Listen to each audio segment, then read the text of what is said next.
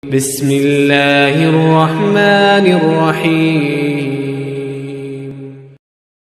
Haid itu paling maksimal setengah bulan, 15 hari atau 14 hari itu paling mak maksimal. Agar kita katakan bahwasanya wanita itu apa? Suci.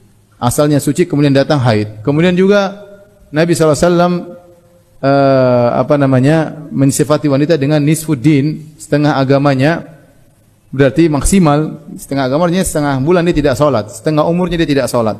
Berarti maksimal wanita itu haid 15 hari.